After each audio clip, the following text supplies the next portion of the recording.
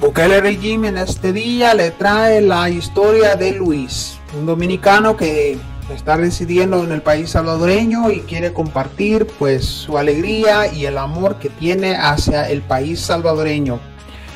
Pero también nos cuenta cómo hay muchos salvadoreños de la oposición que le dicen que no diga buenas cosas del país y le dicen que es el presidente Nayib Bukele que le paga para que él hable bien del país, pero él nos aclara con su respuesta. Mire usted la entrevista y pues usted juzgue y recuerde, comparta, suscríbase y denos el like. Aquí le tengo el video.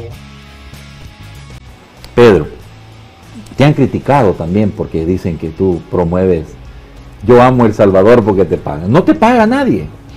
Bueno, realmente siempre he visto bastante comentario en, en redes. De hecho, hay uno que sí me marcó bastante porque yo lo dejé entrar a mi círculo de amigos en Instagram.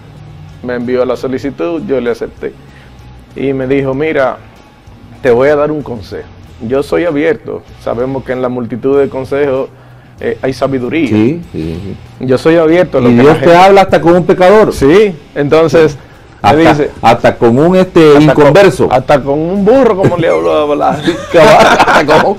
exactamente. entonces, mira, me gustaría que tú cambies de contenido, me dice. Que dejara de hablar en bien del país que yo hiciera otra cosa, pues, que ya no haga Pero te das cuenta. Sí. ¿Te das cuenta? Y es poquito, salvadoreño poquito, pero, pero hay gente que se levanta mm. eh, pidiendo que este país fracase. ¿Cómo puede ser, Pedro? ¿Cómo puede ser? Imagínate, les cae mal que tú digas que amas al Salvador. Sí, y aquí tengo. Entonces, igual no lo voy a mostrar. No, claro, definitivamente. Eh, a, raíz de eso sí me, me sentí mal.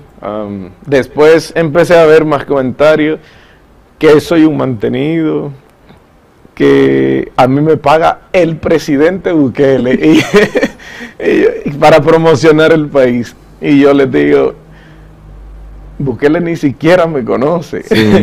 Es que mira, bueno, mira, aprovechemos porque yo igual ando viendo si el presidente Bukele me da una entrevista. Señor presidente Bukele, para que se retuerzan las huestes de maldad. Yo solo le conozco una foto. Conozco, dele una foto a, Pedro Feliz, por favor. Pero, o sea, a mí no. ¿Tú no conoces al presidente? Yo no, eh, yo lo he visto. Claro, claro. Yo, yo también lo he visto. Yo, también lo he visto. No, pues yo ya tuve el placer de entrevistarlo al presidente